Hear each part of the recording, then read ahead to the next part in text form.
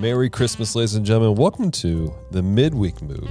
This is Dallas here, and today we have a very special episode of our podcast.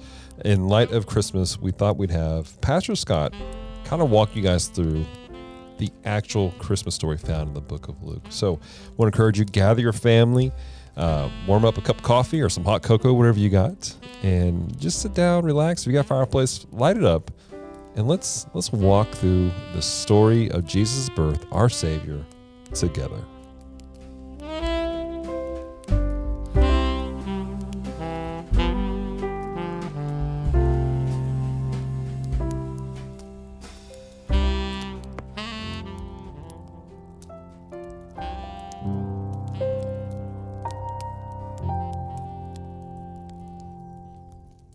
Now, in the sixth month, the angel Gabriel was sent by God to a city of Galilee named Nazareth, to a virgin betrothed to a man whose name was Joseph of the house of David.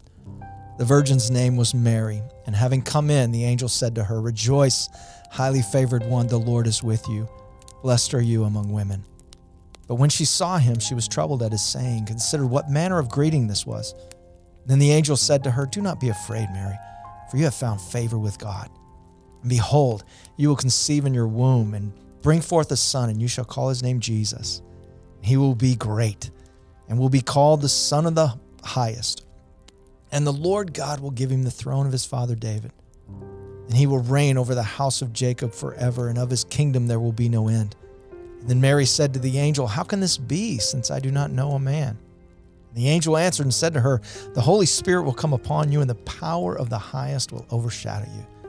Therefore, also the Holy One who is to be born will be called the Son of God.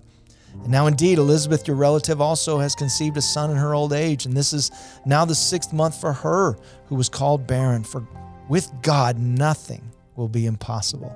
And then Mary said, Behold, the maidservant of the Lord. Let it be to me according to your word. And the angel departed from her.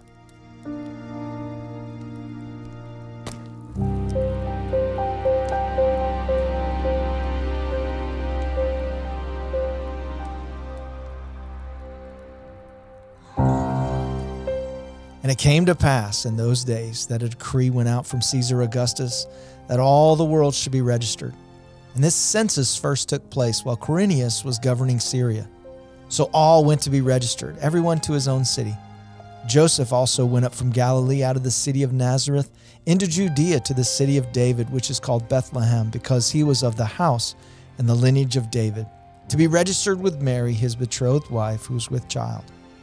And so it was that while they were there, the days were completed for her to be delivered. She brought forth her firstborn son, wrapped him in swaddling clothes, and laid him in a manger, because there was no room for them in the inn.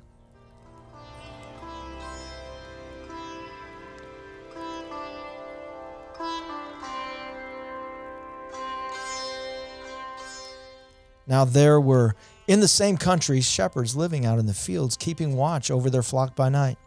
And behold, an angel of the Lord stood before them, and the glory of the Lord shone around them, and they were greatly afraid. And then the angel said to them, Do not be afraid, for behold, I bring you good tidings of great joy, which will be to all people. For there is born to you this day in the city of David a Savior, who is Christ the Lord. And this will be the sign to you you will find a babe wrapped in swaddling clothes, lying in a manger. And suddenly, there was with the angel a multitude of the heavenly host praising God and saying, Glory to God in the highest, and on earth peace, goodwill toward men. So it was when the angels had gone from them into heaven that the shepherds said to one another, Let us now go to Bethlehem and see this thing that has come to pass, which the Lord has made known to us. And they came with haste and found Mary and Joseph and the babe lying in a manger. Now, when they had seen him, they made widely known the saying which was told to them concerning this child. And all those who heard it marveled at those things which were told to them by the shepherds. But Mary kept all these things and pondered them in her heart.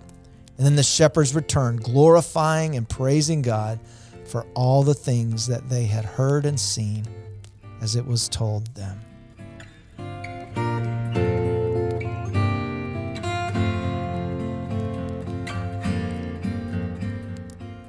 Hey, thank you for listening to today's podcast. We hope it's encouraged you. We hope that maybe that today as you've listened to this, you have a, a deeper appreciation for the birth of our Savior and the things that took place. There's so much more that took place in Luke chapter 2 that you guys can dive into. I want to encourage you to open your Bibles, read through it yourselves, and if you have questions, if you need some encouragement, if you need prayer, reach out to us. MediaHub at thpshreveport.com.